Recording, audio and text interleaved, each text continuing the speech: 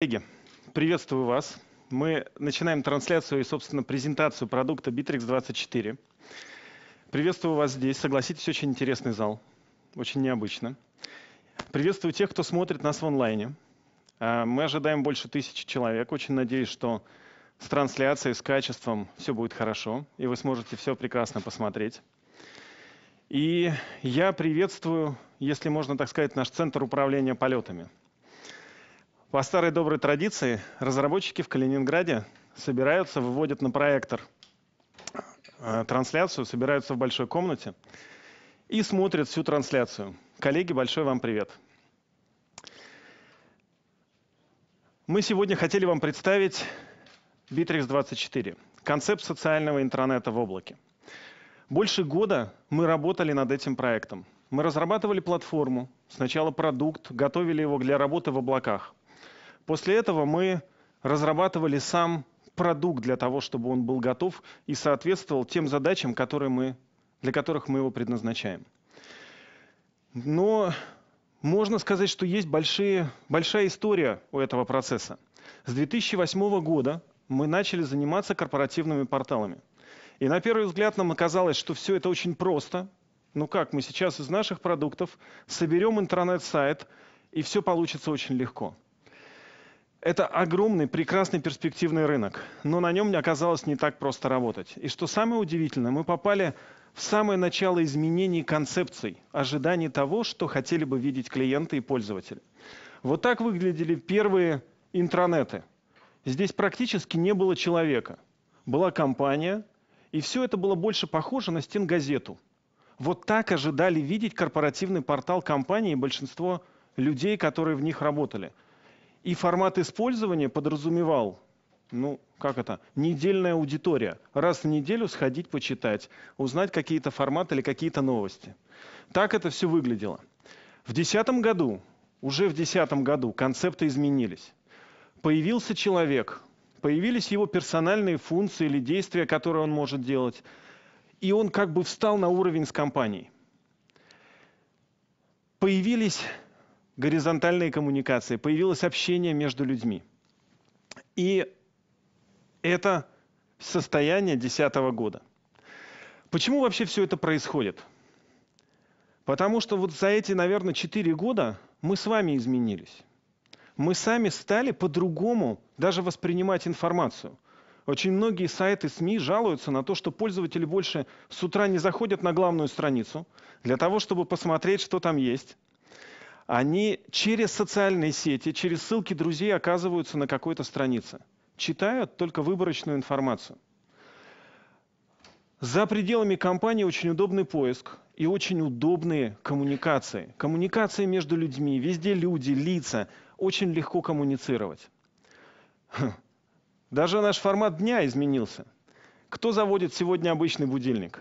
В большинстве своем мы заводим телефон, выставляем время – Наше утро начинается с того, что мы читаем, что же там в ленте появилось, просматриваем новости. И этот формат прочтения новостей, когда мы листаем ленту, ну, становится чуть ли не основным для восприятия информации. Мы отбираем некоторых людей и листаем выборочные какие-то списки. Кто-то читает на iPad, просматриваем погоду, пользуемся какими-то устройствами, да, действительно мобильны, но у всего этого есть некоторый общий контекст, социальный контекст – вот некоторые, кстати, не очень любят Твиттер и объясняют это так. Там нету лайков. Вам не могут, там максимум, что можно заретвитить. Зато все пишут в Твиттер для того, чтобы в Фейсбуке получить лайки и какие-то коммуникации. Мы с вами меняемся. Э, и вот на протяжении этих лет мы пришли к новому концепту, который мы называем социальным интернетом. И когда я спрашивал, когда мы только начинали обсуждать этот концепт, я спрашивал своих друзей и коллег. Вот если я вам говорю слово «социальный», что у вас первое возникает?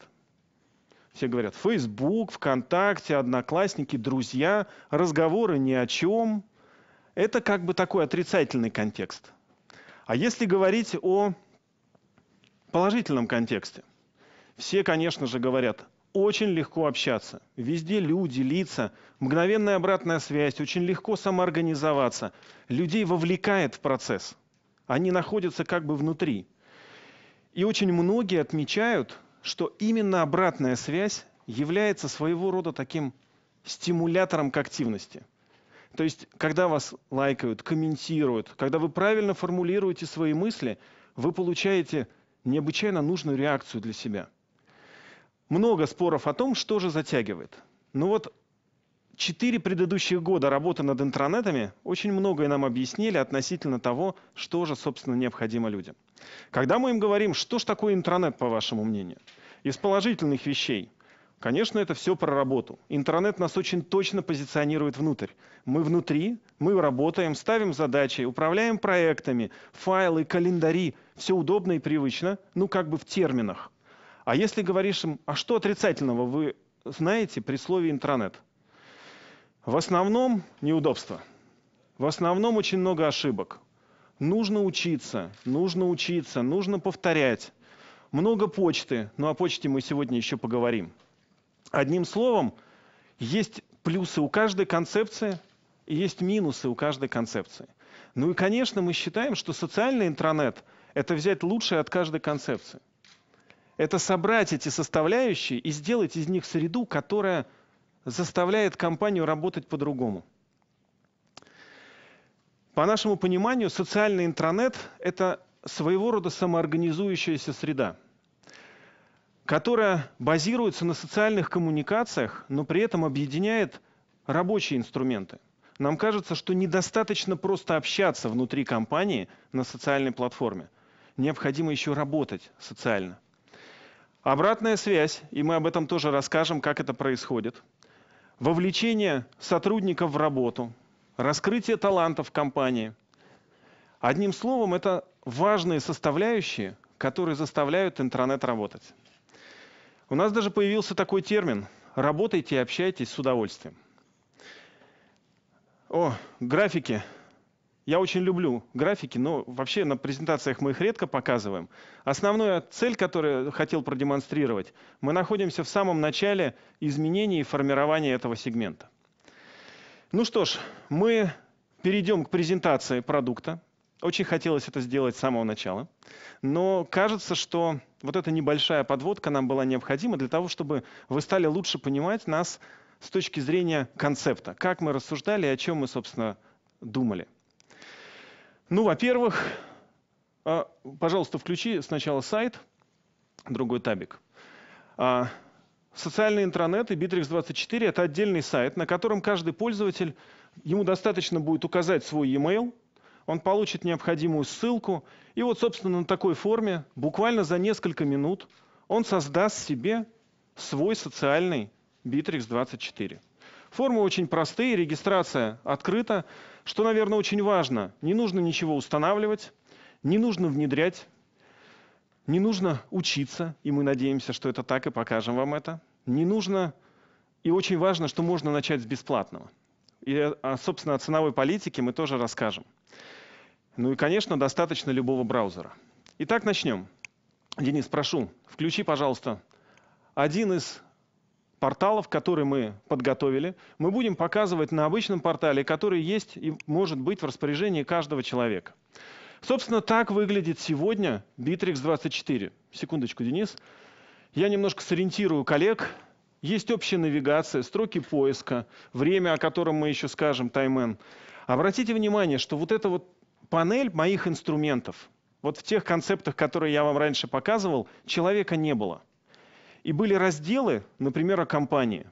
Был очень любопытный случай. Мы внутри компании пытались выяснить, а нужен ли этот раздел – он находился на самом первом главном месте. Все кивали головой и говорили, он нужен. Но когда даже по логам мы посмотрели, оказалось, что ну последний раз в октябре ходили в этот раздел. 3-4 месяца назад или при открытии портала. Ежедневной работе необходимы были обычные инструменты. Ну, то, итак, сначала немного о сообщениях. Главная страница портала, по сути, это живая лента. Давай поприветствуем всех сотрудников. Пока Денис мне помогает и, собственно, пишет сообщение, мы видим, что у нас сообщение отправляется всем сотрудникам, и все, кто у нас работают на портале, увидят это сообщение, смогут поработать с ним. Мы еще договаривались, что Алексей Сидоренко будет нам помогать, лайкать, комментировать эти сообщения. Он будет работать в онлайне. Ну, собственно, мы написали сообщение всем. А давай напишем сообщение, отчет по мероприятию. То есть мы просто общаемся как бы, да, но мы можем представить и рабочий отчет о том, как, например, прошло это мероприятие. Мы добавим заголовок, потому что некоторые сообщения бывают достаточно большими. Например, на нашем портале отчет о мероприятии может содержать десятки фотографий, включать много материалов. И сотрудники сами каталогизируют информацию, размещают, правильно размещая по группам, по разделам, в процессе работы выполняют необходимую для нас функцию – систематизация этих знаний. Ну, мы не будем здесь очень... Э, давай направим в несколько отделов. В отдел маркетинга. Обратите внимание, Денис сейчас выбирает разные группы, в которые он направляет это сообщение. Он выбирает несколько пользователей. Это могут быть отдельные получатели. Они получат это сообщение, информацию. И он может также выбрать... У него есть возможность направить сообщение полностью в отдел. Мы чуть позже еще поговорим о деталях или особенностях, и он отправляет это сообщение. Непосредственные получатели получат нотификацию о том, что есть сообщение, но самое главное, отчет классифицирован по разделам, уже заиндексирован, доступен для работы, комментирования, оценки его руководителями. И вот эти лайки, которые собирает этот отчет, материалы, комментарии или обсуждения, которые проистекают сразу же за этим материалом, могут оказаться и будут очень важны. Собственно, говоря о сообщениях и вообще о коммуникациях, я бы отметил один очень важный момент. Очень часто рассуждаю, думают, что компания это поставил задачу и снял задачу. Но чем больше вообще занимаюсь бизнесом и вижу другие компании, тем больше понимаю, что вообще бизнес – это коммуникация. Бизнес – это общение. Это согласование позиций, разъяснение своих позиций. Поэтому нам кажется, что общаться необходимо очень легко и просто. Ну и здесь несколько слов вообще о том, как сегодня происходит общение внутри компании. Обсуждая и изучая опыт эксплуатации наших продуктов, мы столкнулись со следующим моментом. У нас в компании очень мало стало внутрикорпоративной почты. Потому что большую часть сообщений мы пишем на портале. Но был один момент, для которого почта использовалась, когда нужно было файл отправить нескольким людям. Но, размышляя об этом, мы поняли важный для себя момент. А вообще-то почта не социальна. Придуманная давным-давно, когда про социальные вещи еще не говорили, и придуманная для того, чтобы общаться между компаниями, ее адаптировали для общения внутри компании, но подходит она для этого плохо. Как обычно происходит. Одно письмо, прикрепили к нему файл, и разослали его 10 абонентам. Это произошло в результате переписки многократно увеличилось. Но письма-то истории нигде не осталось, одного места хранения нет. Люди уходят, ящики уходят, но не произошло ни структурирования информации, ни накопления, ни систематизация. И говоря о том, как мы рассуждаем, мы считаем, что люди должны общаться в рамках портала. Они должны здесь структурировать информацию, размещать эту информацию – сами размещать ее по группам, для того, чтобы они, по сути, выполняют эту работу для компании. Давай мы продемонстрируем, как идет работа с файлами. И вот мы еще раз останемся на сообщениях, но немного расскажем вам о файлах. Это один из старейших концептов вообще в интернет-индустрии, в IT-индустрии, который есть. Файл или документ. Организации накопили огромное количество документов. Они никогда от этого не откажутся. Сейчас Денис готовит сообщение, прикрепляет к нему документ. Они загружаются, их можно прикрепить действительно много. И сейчас я попрошу его опубликовать этот документ. То есть не документ первичен, а сообщение первично. Мы публикуем новый проект договора. И публикуем его, ну, например, вот в папке «Официальные бланки». Отправляем мы пишем сообщение, но одновременно выполняем сценарий публикации документа. Отправил? Отлично. Этот, это сообщение уже может обсуждаться. На документ поставлены правильные права, он находится в необходимом месте, он заиндексирован, и уже вы его в следующий раз найдете. Давай теперь еще один сценарий покажем работы с документами. У нас есть документ в хранилище, например, лицензионный договор, но он устарел, и нам необходимо его обсудить. Инициирует диалог, например, юрист. Он пишет, что необходимо рассмотреть новый договор. Подкрепляет нескольких человек, например, финдиректора или бухгалтера, или юриста еще одного. Указывает их в получателях, да, сразу структурирует, например, по группе, и не выбирает новый документ, э, не загружает, а выбирает его из библиотеки. Давай выберем из те, тот самый документ, который мы загружали, партнерский договор. То есть прикрепляет уже имеющийся документ инициирует обсуждение. Фактически обсуждение первичнее документа. Оно может внутри себя манипулировать несколькими документами, некоторые из которых могут оказаться опубликованы. Давай прокомментируем документ, а то, о, у нас Алексей Сидоренко участвует, он комментирует нас постоянно. Сроки поджимают, коллеги общаются, причем, я обращу ваше внимание, Сидоренко Алексей, Иванов и группа маркетинг, только они смогут видеть эту дискуссию, а все пользуются обычным документом. И вот когда документ согласован, мы можем, залайкал Алексея, э, добавь комментарий, давайте мы заменим эту копию. Давайте мы заменим этот документ. Юрист согласовал, свел к себе концепт. И он выбирает этот документ и замещает его, тот, который был опубликован. Денис сейчас продемонстрирует. Ну, мы с вашего разрешения, вообще это, кстати, сложная задача, показывать коллективную работу на одном экране. Но, надеюсь, нам удастся показать вам общие сценарии работы. А, сейчас, подожди, не отправляй. Выбери, где он будет опубликован. Отмени, пожалуйста, это. Угу. В этом сообщении. По умолчанию документ хранится в этом сообщении. Но нам же нужно его опубликовать.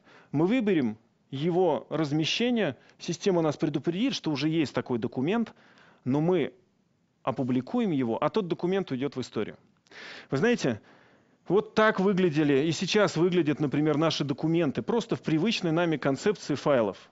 Мы много экспериментировали, мы прикручивали к этому бизнес-процессы. Мы прикручивали к этому обсуждения и много искали вариантов, как же сделать людям удобно согласовывать договора, документы, публиковать или не публиковать эти сообщения. И к своему удивлению обнаружили, что вот такой вариант очень простой. Прямо в процессе обсуждения, причем, опять же, из той аналогии с почтой, у вас не получилось 40 писем с огромным количеством этих дубликатов у вас есть один документ, все над ним работают, и только измененные версии согласовывают и публикуют. Я считаю, что с файлами нам удалось добиться очень-очень большого и простого сценария. Ну что ж, пойдем дальше. Вот, собственно, у меня немножко сказано было о том, как это будет. Социальный поиск. Как я уже говорил, мы привыкли за пределами компании быстро, легко находить информацию. И, конечно, очень важно находить легко информацию на портале. Поищи просто договор, не напрямую в ссылке, а просто поиском. Все документы, которые заиндексированы, размещены на портале, они не просто заиндексированы, заиндексированы по содержимому, и вот эти лайки или оценки, или то, как раз, что сегодня называют социальный поиск. Покажи, кто у нас комментировал этот документ. Это ты. Но очень важно, кто лайкает документ кто отмечает, что ему документ нравится.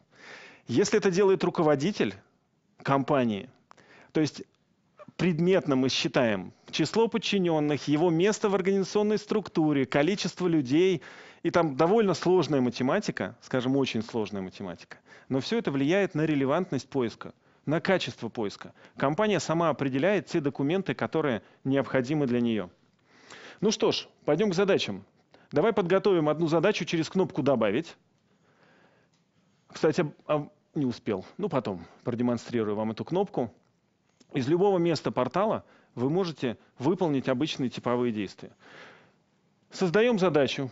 Задача довольно такой функциональный инструментарий. Там много возможностей по постановке задачи, по принятию задач. Мы обязательно учитываем структуру компании. То есть от руководителя задачу нельзя не принять. А если вы в горизонтали ставите задачу, то ее подтверждают. Есть для больших компаний форвард этой задачи между людьми. Не буду все детали э, рассказывать, но давай опубликуем задачу. Ты себе пока поставил, да? Не будем ставить, наверное, Алексею. К тому же я не помню, какая у нас структура на этом портале. Он может отказаться ее принять. Давай перейдем в задачи и продемонстрируем кратко, чем мы располагаем для работы. Во-первых, конечно, ваш список задач, с которым вы будете работать. Вы можете всегда посмотреть те задачи, которые вы ставили, назначали или за которые отвечаете. И отвечают те, кому вы их назначили. Давай посмотрим все это на диаграмме Ганта. Очень многим необходим этот инструментарий. Причем не просто инструментарий, а возможность перемещать сроки. Порегулируй немножко сроки, покажи нам, как это работает. Здесь в визуальном режиме вы двигаете стрелочки, перемещаете строки, и это работает как установка, информирование тех сотрудников и тех задач, которые есть. Открой, пожалуйста, задачи. Здесь очень любопытный интерфейс, как с фотографиями. Вы можете открыть эти задачи и полистать. Двигаясь влево-вправо по тем задачам, которые у вас есть, вы можете работать с ними. Ну давай по какой-то задаче отчитаемся еще по затраченному времени. Ресурсный учет. Не все компании его ведут, но для некоторых это будет очень важно и интересно. Отчитаться, а, это не наша задача. Мы не можем рапортовать время в чужую задачу. Но, окей. Давай на дизайн. Макет, отлично. Мы отрапортовали время затрат, которые мы понесли. Давай завершим этот момент и продемонстрируем завершающий момент по задачам. Это отчеты. Отчеты которых позволяют вам построить типовые отчеты, которые есть, создать новые отчеты. Но, кстати, их, любой отчет теперь можно выгрузить в Excel, ну и, конечно, отчеты можно поредактировать. Мы не будем детально останавливаться, это очень интересный и очень важный функционал, он пригодится многим компаниям проектным, но настроить отчет, работать с отчетами будет необычайно удобно и просто. А, кстати, стоит, наверное, отметить, что задачи, конечно, интегрируются с Outlook. Для многих это важно. И еще очень важно отметить, что все задачи, с которыми вы работаете, попадают к вам в живую ленту. Тоже своего рода социализация. Давай прокомментируем прямо в живой ленте, в живой ленте, те задачи, которые, ну, в данном случае это моя, мы можем сюда же писать отчет, мы можем размещать комментарии или прикреплять файлы. Спасибо календари. Мы перечисляем вам теперь уже классические инструменты, но показываем, как в социальном варианте они работают внутри uh, Bittrex 24. Не очень детально будем останавливаться. Давай создадим событие. Встреча. Отредактируй, и ты можешь пригласить, например, дополнительных участников. Выбери кого-нибудь.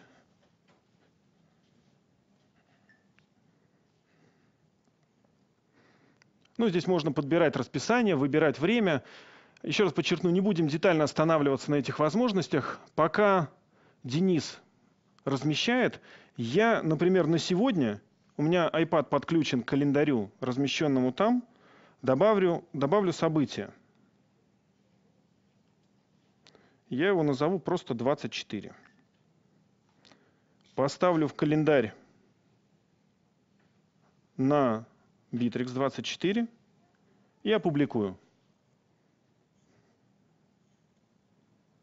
Давай посмотрим, появилось ли у нас событие на сегодня. Пока еще не прошла синхронизация. Обнови, пожалуйста, страничку. Вот, собственно, наше событие. Я его поставил сейчас через iPad. Вы сможете подключить календарь к своему телефону, Google календарю, для того, чтобы те события, которые происходят на корпоративном портале, или те изменения, которые вы делаете на мобильных устройствах, отражались и были видны вашим сотрудникам. Рабочие группы – это действительно инструмент социальных сетей. Нас долго спрашивали, давай пока создавай группу. Нас спрашивали, почему это не называется проектом. Мы даже кое-где это назвали проектом. Но вообще группа и вообще проект – это больше, чем просто набор задач. Это много элементов. Денис создает проект, выбирает разный функционал, который может быть. Мы пока еще не переименовали здесь блоги в сообщения. Ну, приглашает сразу участников и создает группу. И в рамках группы мы располагаем задачами, документами, календарями, сообщениями, в которых необходимо работать.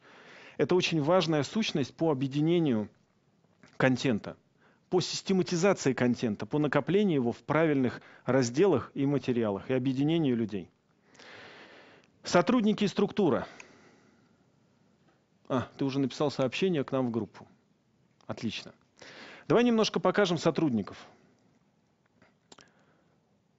А, конечно, подключать людей легко через приглашение. Кстати, давай продемонстрируем кнопку «Добавить». Э, приглашение сотрудника. Когда вы заведете себе Bittrex 24, приглашение сотрудников у вас займет считанные минуты. Вы указываете e-mail и отправляете, ну, не будем сейчас создавать. А, я просто хотел продемонстрировать, что в вашем распоряжении очень простой инструмент по управлениями компаниями, сотрудниками своей компаниями, а, сотрудниками в экстранете, сотрудниками, которые были уволены. Иногда интересно посмотреть список. И меня часто, кстати, спрашивают, а что случится, если мы уволим человека? Все, что он создавал, будет потеряно? Нет. Безусловно, нет. Потому что человек работал и систематизировал всю информацию. Работал социально и вообще участвовал в проектах. Поэтому это просто его деактивация и перемещение, в общем, в определенном другой список. Давай продемонстрируем структуру. Когда я вам показывал социальную сеть, я говорил про друзей. В друзей в э, социальном интернете, хотел сказать, нету. Конечно, они есть. Но инструмент в том виде, как социальная сеть работает, присутствует по-другому. Мы продемонстрируем, это структура компании. Она играет очень важную роль, потому что... Давай поперемещаем немножко отделы, ты продемонстрируй, а я поговорю. А, визуально мы его, во-первых, проектируем, во-вторых, а, устанавливаем руководителей. именно от того, как устроена структура компании, будут зависеть права на задачи, а, ваша ценность вашего лайка, то есть оценки контента, кто кому а, направляет отчеты о проделанной работе. Ну, кстати, очень любопытно, когда мало того, что мы сделали визуальное проектирование этой структуры, когда на ней появились люди и лица, она преобразилась она стала вообще другой. У нас в компании заходили в эту структуру и смотрели, хотя все же вроде все знают. Там раньше фамилии числились, а когда появились люди, стало выглядеть все по-другому. Именно структура компании в Bittrex24 выполняет опорную функцию. Ну и, конечно, еще один важный момент подчеркну. Список сотрудников можно интегрировать с телефонами. Все контакты, иногда это на в терминах называют самообслуживание, HR-самообслуживание. Каждый человек правит свою анкету, правит свой список, контакты, телефоны, и это все автоматически оказывается у вас на iPad, на компьютерах или на мобильных телефонах. CRM. Мы детально не будем останавливаться сегодня на CRM, я просто продемонстрирую вам, что мы представляем большой функционал по этому продукту, но у нас ожидаются еще больше изменений, обновления, интеграция с интернет-магазином. И, видимо, в этот период мы будем детально рассказывать об этом продукте. Сегодня не буду представлять больше информации. Итак, пойдем дальше. Учет рабочего времени. А, сервис Bittrex24 для компаний. Он не просто для развлечений. Он для того, чтобы компания стала эффективней нашла внутренние резервы, людям стало интереснее и легче работать. И мы очень долго искали способ, как учитывать рабочее время людей, чтобы они не чувствовали давления, чтобы это не стало ну, фактором усталости, что ли. Многие знают, что ведомости отметьте, отметьте, когда пришел, ушел с работы. Проходные, карточки. А ведь сам человек может смотреть, сколько он отработал, и стремиться отработать 8 часов или, если у него больше, необходимо отрабатывать. Денис сейчас начинал и завершал рабочий день, и в нашей концепции Bittrex 24 неважно, где вы находитесь. Ваш рабочий день начинается тогда, когда вы начинаете его на портале. и завершается, когда вы завершаете рабочий день. Причем, если вы были на встрече и смогли зарегистрироваться только, например, в 12 часов, вы можете поменять это время и сказать, что вы начали работать с 9. И в живой ленте у вашего руководителя появится сообщение с просьбой подтвердить изменения. Точно так же в соответствующем списке, в социальном формате, без социальной напряженности, если можно так сказать, будут работать сотрудники. Интереснейшим инструментом стали рабочие отчеты. Еще раз, мы про эффективность компании, про то, чтобы люди, людям было легко получить обратную связь. Она не только в лайках, она в том, когда ваш руководитель отмечает и говорит, что вы хорошо работаете или все правильно сделали. Собственно, вот так выглядит отчет. Нам довольно сложно в рамках демонстрации это представить. А, каждую пятницу, если вы не внесете изменения, в 16 часов а, выпрыгивает отчет который собирает все задачи, которые вы делали в течение этой недели, все события, в которых вы участвовали, все ваши пометочки за неделю. Вы его можете поправить и отправить своему руководителю. В живой ленте руководителя возможность посмотреть, подтвердить, прокомментировать и пообсуждать. И, конечно, вы потом в списке отчета, как руководитель, видите всю компанию насквозь. Вы можете открыть любой и полистать посмотреть, как это выглядит и как работает. Прекрасный инструмент для растущих компаний, да и, в общем-то, для больших. Легкий, не создающий, ну, в общем, напряженности, наверное, так, и в то же время создающий очень важную прозрачность компании. Собрание и планерки. Интересный инструмент, но мы решили сегодня не рассказывать. Все-таки он, наверное, довольно большой. Ну и в завершение. Мгновенные сообщения. Давай продемонстрируем мгновенные сообщения. Мы посчитали, что самым правильным вариантом будет сделать веб-интерфейс для работы с сообщениями. Вот когда мы пишем с вами сообщения с файлами, с отчетами, это чуть помедленнее, это ближе к концепту такого социальных коммуникаций, истории. Но иногда нужно прямо отправить на мобильное устройство сообщение, пообщаться с людьми. Вот Алексей, я даже не знаю, где он, ну где, а где-то вот здесь он. Они общаются на портале, пишут друг другу комментарии, быстро уточняют. Список нам показывает, кто сейчас в онлайне. Вы можете смотреть их по структуре. И это чертовски удобно. Как сказал Алексей, он раньше пользовался на компьютере Адиумом для общения. За один день он перешел на веб-интерфейс и не испытывает неудобств. Простой, легкий инструмент, решающий задачи присутствий, и обмена мгновенными сообщениями. Вот, собственно, общий формат презентации. Я, наверное, кстати, Денис, попрошу тебя открыть меню пользователя и открыть помощь. Открой, пожалуйста. Да, помощь. Вот в таком состоянии, то есть с первым welcome скрином и, так сказать, подсказкой окажется пользователь, когда впервые вы его пригласите, он зайдет на Bittrex 24. Он сможет посмотреть, какие у него есть возможности, он может попользоваться, написать, и все действительно получается просто. Нам кажется, что учить этому инструменту не, не сложнее, чем научиться работе в обычной социальной сети. У нас будет возможность, я потом отвечу еще на вопросы. А, перейдем к следующей части – цены. Собственно, мы открываем сервис, это облако, это SaaS. И, конечно, нужно объявить ценовую политику, которая будет. И несколько сюрпризов.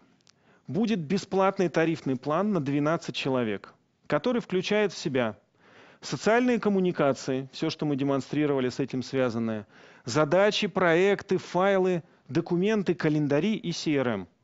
12 человек – это отдел компании, небольшая компания, которая может начать работать, быстро пригласить своих сотрудников или коллег, организоваться и выполнять совместные э, проекты. Вторые, второй третий план – это коммерческие планы. И мы решили ограничиться всего двумя коммерческими планами.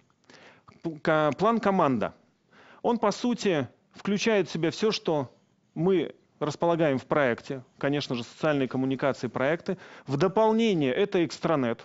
Экстранет – это возможность любую группу э, сделать открытой для ваших партнеров, клиентов, юристов, с кем бы вы ни работали. И они будут в таких же социальных коммуникациях с вами общаться. Чем он отличается? Конечно же, возможностью пространства, но нам удалось, и мы приняли решение, что мы не будем ограничивать по числу пользователей. То есть фактически тариф в 4990 рублей – это цена для одной компании на один месяц, независимо от того, сколько у вас пользователей. Ну и, собственно, верхний тарифный план, который предназначен для более крупных компаний, которые уже, помимо всего прочего, ведут учет рабочего времени, рабочие отчеты, планерки, и вы можете, собственно, привязать свой домен – есть такая возможность в верхнем тарифном плане. Он всего в два раза дороже, но включает в себя и в два раза больше пространства и места. На мой взгляд, уникальные цены. Я думаю, что это очень интересное предложение. Все клиенты, все, кто говорят про SaaS, конечно, говорят про безопасность. И целый комплекс мероприятий, о которых мы говорим. Конечно, шифрование. Ну вот, собственно, мы демонстрировали вам все на живом проекте. Э, только через SSL происходит работа. Целый ряд сетевых фильтров, проактивная защита, классические наши инструменты, физическое разделение данных разных пользователей. Все у нас размещено в Амазоне, который относится к определенной категории дата-центров. И целый ряд комплексных мер, которые есть в продукте. Но мне бы отдельно хотелось отметить, что для этого проекта мы разработали уникальную архитектуру. Э, ну, наверное, в общей сумме, я уже вначале говорил, около года мы работали над проектом. И у нас даже возникла такая аналогия, если можно сказать. Когда проект самолет взлетел, почему у него два двигателя? Они не просто он спроектирован так. Каждый двигатель независим, у него есть отдельный топливный бак, два пилота, два руля, два шнурка к разным этим элементам.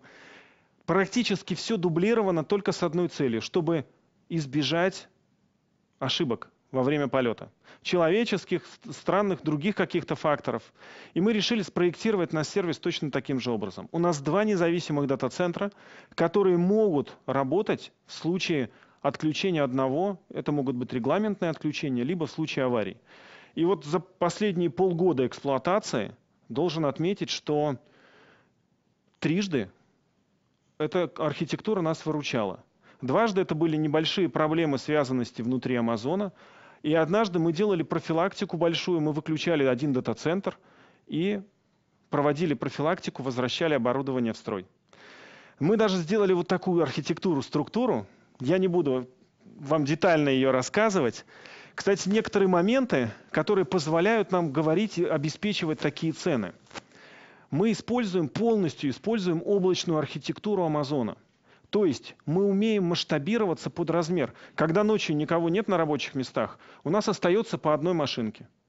Когда пользователи просыпаются, начинается рабочий день, нагрузка превышает 60%, создаются новые машины, и система автомасштабируется под те нагрузки, которые необходимы для обслуживания этого проекта. Конечно же, для наших партнеров и для тех клиентов, кто твердо скажет, что мы не хотим в облаке, мы знаем, что есть очень разные точки зрения. Мы предлагаем возможность приобрести коробку корпоративного портала. Весь концепт Bittrex 24 с дизайном, с другими элементами становится составной частью корпортала. Корпортал 11.5 выйдет в ближайшее время. А в ближайшее время, это я имею в виду в апреле потому что партнеры обязательно будут уточнять. И можно будет приобретать соответствующий продукт. Итак, мы начинаем публичное тестирование проекта Bittrex24. Мы все-таки решили сохранить пока статус беты, потому что на текущем этапе нам очень важна обратная связь от пользователей. Причем не только от технических специалистов. Уже на сегодняшний момент на проекте работает больше 500 компаний. При этом кто-то использует каждый день, там порядка 120-130 компаний работают просто каждый день. И со своими сотрудниками, и с э, внешними компаниями. Но нам сейчас очень нужны обратная связь именно от обычных пользователей. От тех, кто создаст рабочие группы и не обладает техническими навыками, э, как обладают наши партнеры или квалифицированные э, э, клиенты. Итак, приобретать продукт можно будет уже начиная с сегодняшнего дня. Почему, кстати, можно приобретать бету? Вопрос. Его мне всегда спрашивают, потому что даже на период закрытого тестирования партнеры, которые демонстрировали его клиентам, получали запросы о необходимости его продажи. То есть сегодня уже есть необходимость продавать его как сервис, и мы решили, что продавать его будут в первую очередь партнеры. Собственно, очень важный тоже момент. Лицензию можно приобрести на 6 и на 12 месяцев. Как же SaaS и не помесячно? Есть некоторая особенность, связанная с Россией. Это сложности бухгалтерские, которые требуют больших расходов на обработку каждой транзакции. Для того, чтобы минимизировать их, минимизировать цену, собственно, сервиса, и делать это не раз в 6 месяцев, ой, не каждый месяц, а один раз в 6 месяцев, мы все-таки решили ограничить лицензию на приобретение. Ну, что еще отмечу? Мы запускаем проект сразу на трех языках, на русском, английском и на немецком – Bittrex 24DE, Bittrex 24com. Мы будем активно работать на международном рынке. Нам кажется, что концепция необычайно прогрессивна, и мы будем рады общаться с международными э, пользователями. Ну и, собственно, наша цель, конечно, развитие SaaS-направления, создание нового концепта социального интернета и создание среды общения – создание для компаний нового конкурентного преимущества, которое позволяет им становиться более эффективными, а людям, ну, собственно, более успешными. В завершение хочу поблагодарить компанию АИС. Ребята, вы нас очень здорово выручили. Ребята сделали нам дизайн на наших концептах. Очень много помогли с интерфейсами и с находками. Спасибо вам большое. А, и также хочу поблагодарить всю нашу команду и весь наш коллектив, который работал над этим проектом на самых разных этапах. А, это большая победа для нашей компании. Собственно, проект открыт. Если я не ошибаюсь, его должны были уже, собственно, открыть сайт.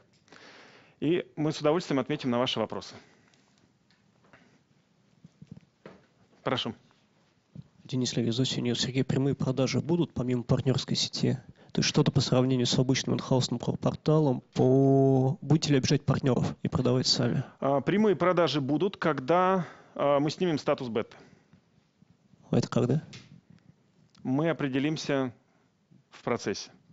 Второй короткий вопрос. По команде инхаусного решения тоже за этот год э, вы каких-то людей уводили с инхаусного на САСные? Э, что там с персоналом? и, и сменится ли там ценовая политика? Спасибо. Простите, не понял последний вопрос. Сменится ли ценовая политика по обычному корпоративному А, по обычному корпоративному да. порталу не изменится. Ценовая политика останется такой же.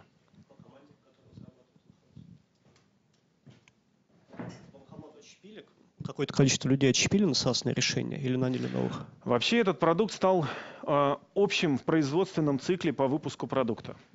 То есть э, в результате разработки одновременно развивается ветка корпоративного портала, Bittrex24, размещаются на эталонных системах, после размещения обкатки, все это публикуется в SaaS решении.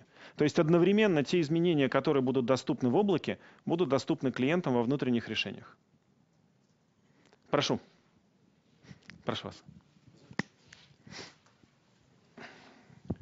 Собственно говоря, значит, э, пессимик Митин Владимир э, по процедуре тестирования. Вот я сейчас, э, вот секунду, э, зашел на ваш портал, там bitis24.ru, ну, и, и пытался зарегистрироваться. Значит, э, без введения значит, номера пригласительного купона, значит, э, ничего не проходит. Вот кто эти купоны будет раздавать и кому? Коллеги, уже этой страницы нет, она держалась только до завершения презентации. Да. Значит, да, еще и э, другое. А вот э, чего э, в онлайне, э, вот в этом SaaS-версии, э, э, нет из коробочной версии? То есть ну, она же, видимо, чем-то меньше? А, ну, нам кажется не очень правильным перечислять, чего нет, и давать таблицу различий, но Наши партнеры обязательно увидят эту разницу. Ну и, значит, э, третье, последнее. Э, вот сейчас э, началось открытое тестирование, до этого было закрытое. А сколько оно длилось и сколько там компаний? Закрытое тестирование продолжалось три месяца на разных этапах. До этого был, ну, так сказать, совсем закрытый пилот, в котором мы больше проверяли инфраструктуру в облаке, прежде чем начали эксплуатацию для клиентов. Прошу вас. Григорий Рудницкий, IT News. У меня вопрос такой. Вот э, очень ваш продукт новый напоминает Google Wave, но вот Google не, см- не смогла раскрутить вот эту вот концепцию совместной работы, и Wave в конце концов закрыли, пустили в свободное плавание. Вот в чем, на что вот вы надеетесь, что, на ваш взгляд, в чем успех может быть данного проекта, вот вашего? Ну, мне кажется, не очень справедливая аналогия. Здесь, мне кажется, концепт совсем другой и о другом. И даже сам формат социальных коммуникаций выглядит иначе. А, не буду в детали вдаваться. Во-первых, не очень Wave знаю, но то, что я видел, было совсем для другого предназначено. На наш взгляд, самая сильная черта проекта – это именно объединение инструментов работы и социальных коммуникаций. Потому что э, можно было бы подойти просто с точки зрения «давайте поболтаем». Поболтаем о деле. Но сразу же рядом появляются задачи. Но задачи может использовать не весь отдел или не вся компания, а какая-то группа людей. Кто-то хорошо работает в рабочих группах, кому-то очень хорошо подходит вики, кому-то другие какие-то инструменты. Вот, собственно, в зависимости от людей в компании приживаются разные инструменты. Мы не навязываем их, мы их предоставляем. Иван Кургузов, Оборот.ру. А, у меня два вопроса. Первый – это есть ли какая-то взаимосвязь между сообщениями и задачами? Потому что важно же не только написать сотруднику, но и чтобы он все-таки заработал. Сообщения и задачи сегодня не связаны. Ну, разве что там через файлы. Можно там выбирать те файлы, которые там загружались. Но в принципе они немножко о разном. Они, наверное, связаны там на живой ленте. Второй вопрос. А с внешним миром как это вообще взаимосвязано? Там подготовили итоговый проект договора, кому-то его надо отослать клиенту. Как uh-huh. это все работает? Или клиент прислал новый договор, его нужно uh-huh. кооптировать в систему? Спасибо, Иван, очень хороший вопрос. На сегодняшний момент мы решили этот сервис не открывать. У нас есть размышления, есть некоторый концепт о том, как это может быть сделано. Возможность интеграции экстранета или публичных ссылок для внешних компаний. Но на текущем этапе мы не считаем возможным пока открыть этот сервис, но, скорее всего, он появится. То есть будет когда-то возможность сотруднику во внутренней корпоративной ленте писать письмо, ну, писать сообщение через Bittrex24 и наружу клиенту тоже писать сообщение тоже через Bittrex24. Не совсем в таких терминах, но очень похожий сценарий, да. Спасибо.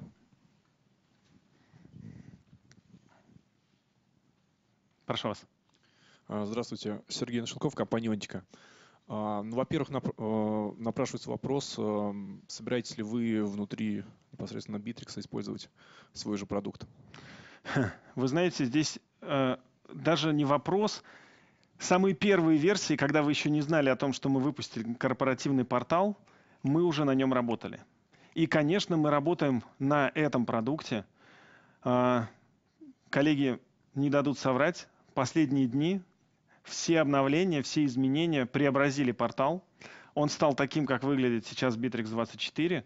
И, собственно, мы работаем, безусловно, в нашем продукте.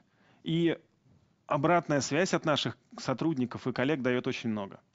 Вот именно, кстати, тогда мы поймали, что э, портала раньше не хватало для отправки документа нескольким людям. Они открывали почтовый ящик. Сейчас это можно делать на портале. Угу, спасибо. И несколько таких э, технических мелких моментов, но иногда они бывают достаточно критичными. Во-первых, мгновенное сообщение. Есть ли возможность подключения э, какого-то чата, то есть отправить сообщение одному человеку? Нескольким людям. Да. Ну, сегодня по, концепте, по концепции мы считаем, что нескольким людям это сообщение. Это все-таки нечто большее, чем просто мгновенный обмен. У нас есть в планах чаты для мгновенных сообщений, но на текущем этапе мы ограничились этим. Угу. Далее, я правильно понимаю, что самого такого понятия сущности как проект внутри вот а, портала нет, то есть э, что способствовало бы, в частности, разграничению доступа, разграничению задач. Э, Это группа, есть. Есть, да? Это группа, мы называем это группами, они объединяют нужное количество вам людей, позволяют распределять разные группы, управлять внутри задачами, ресурсы считать по отдельному проекту, бюджетировать и так далее. Но у нас это немного шире. Проект у нас не просто набор задач и файлов изменений. Это коммуникация, обсуждение, все, что связано с этим. Но разграничение доступа там как бы тоже входит в это, да? Вообще разграничений доступа много, много уровней. Я сознательно старался в этой презентации показать более простой сценарий, потому что в облаке, конечно, сценарий использования проще. Например, когда вы публикуете документ через сообщение, указывая нескольких абонентов, про вас на документ ставятся ровно такие, как вы указали этих абонентов. И там много нюансов, которые спрятаны, все сложности, за простым интерфейсом. И последнее, а, есть ли какой-то аналог а, вики-страниц, то есть страниц, где содержится большой объем информации, так как угу. просто подцеплять каждый раз, если что-то нужно внести, документы там, офисные или прочие, создавать их, понятно, что это неразумно. В каждой группе есть вики. В каждой группе можно создавать, хранить документы, классифицировать информацию. Спасибо. Спасибо. Прошу. Здравствуйте, Владислав Булатов, компания Муспро. А, вопрос в отношении электронной цифровой подписи. Если вы подписываете договор, естественно, он имеет впоследствии какой-то, должен а, прослеживаться, в том числе и судом. То есть э, это не просто социальный интернет да, в облаке, а это, как вы пишете, э, позволяет общаться внутри компании. То есть это должно каким-то образом отслеживаться и контролироваться руководством, с, руководством контролировать сотрудников. Мы... С этой точки зрения, э, насколько, скажем, в случае конфликта э, возникает, вы сообщаете сотруднику, что вы отправили ему. Он говорит, нет, я не отправил, я не получил ничего. И это все, скажем так, через какое-то иное время, в течение трех лет, да, в соответствии с законодательством, оно всплывает, и вы сможете ли с использованием а, вот этой системы сказать, что да, человек получил, и он ответственен за невыполнение того, за, того той задачи, которая ему была поставлена здесь.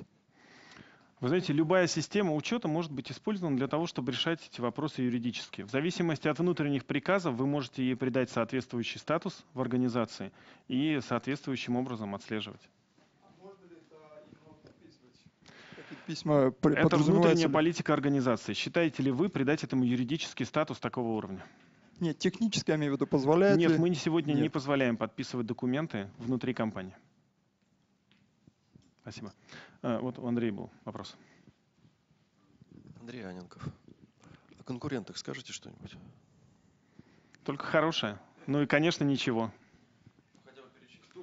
Кто они?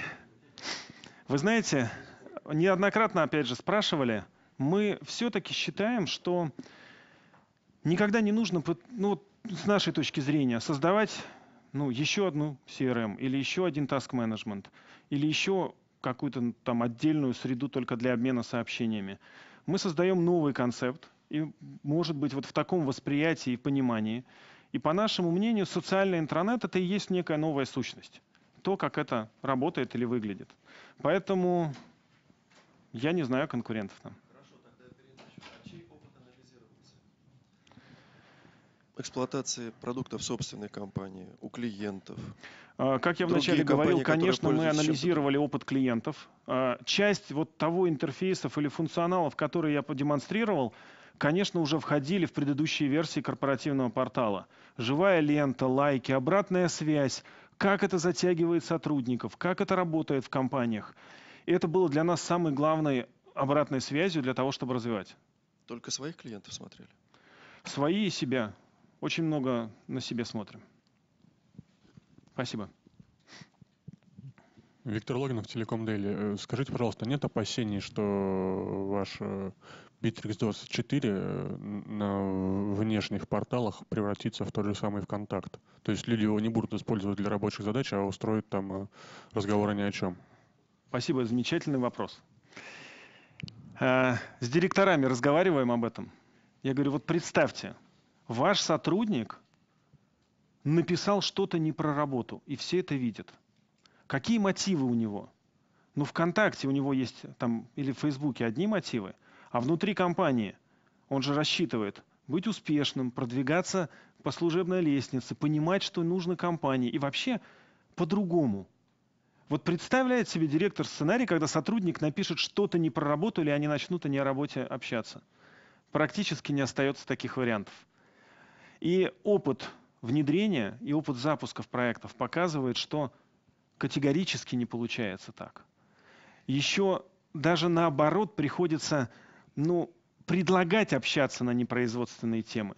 Заводить группу велоклуб или юмор, или еще какие-то, чтобы как раз втянуть нерабочую атмосферу, которая есть внутри компании, чуть побольше. Потому что первоначально люди действительно немножко скованы. Они все-таки внутри компании, они опасаются просто начать высказываться. Со временем этот страх проходит, и среда становится очень открытой. Даже... А? Они работают, пожалуйста. Они все равно это будут делать. То есть, ну как вы им запретите в курилке заниматься не делом? Пусть они общаются, пусть работают. Это все становится общей средой. Все обобщается. Спасибо. Прошу вопросы.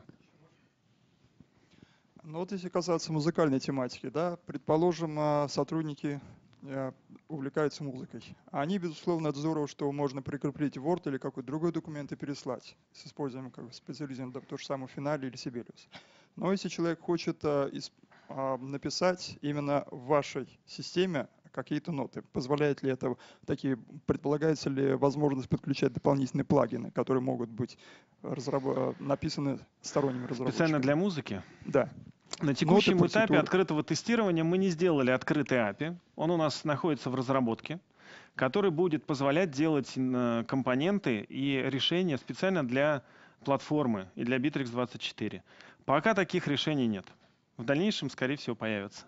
Можно еще вопрос? Прошу. Э, подумал институт, а не опасаетесь ли вы, что тот же самый Facebook или ВКонтакт, вот уже сейчас у них есть зачатки, так сказать, объединения сотрудников одной компании, да, придут и затопчут вас просто на месте своей аудиторией и мощностью?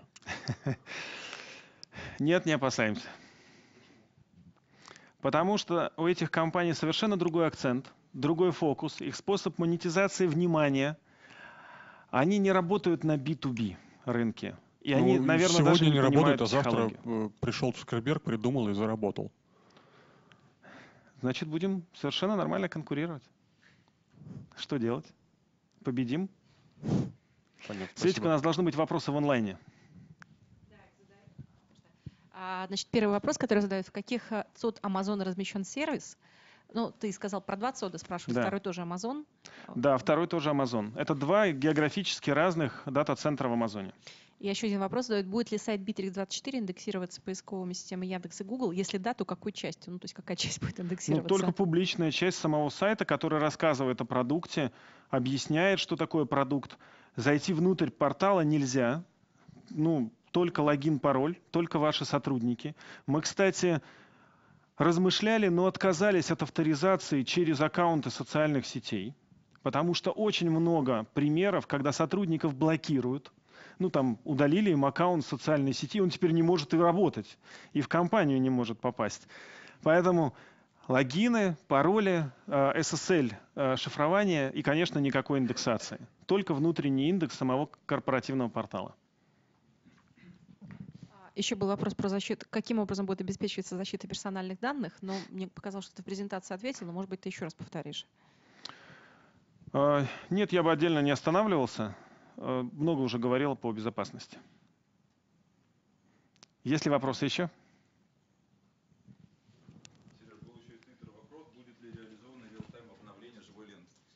Будет ли реализовано реал-тайм обновление живой ленты?